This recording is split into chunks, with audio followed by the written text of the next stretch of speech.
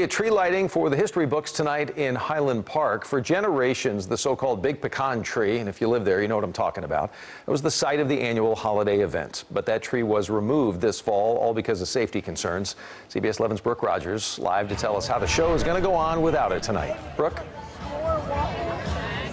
Well, Doug, hundreds of people are expected to attend this annual tree lighting tonight, but tonight marks the christening of a new tree, and with it, new traditions.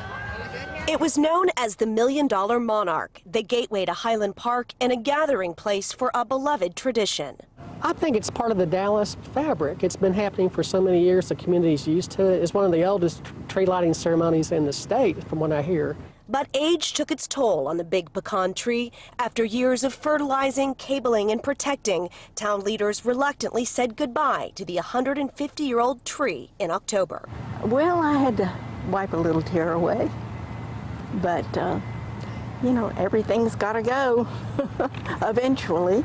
Larry Cox is the great great grandson of the Civil War veteran credited with saving the big pecan tree. the okay. story goes that he plowed over it in a cornfield and he nurtured it back to health that saved it. Now, a sister pecan tree, grafted from the original one, will step up as Highland Park's official Christmas tree. It's equal parts heartbreaking and a happy ending. It's part of the same tree, the same family of trees, right? So we're all family. It's, it's kind of symbolic of a family tree, right? So that we can believe in and have the joy and the values related to that.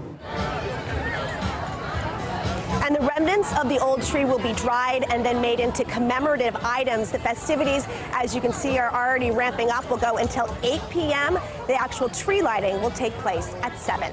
Live in Highland Park, Brooke Rogers, CBS 11 News.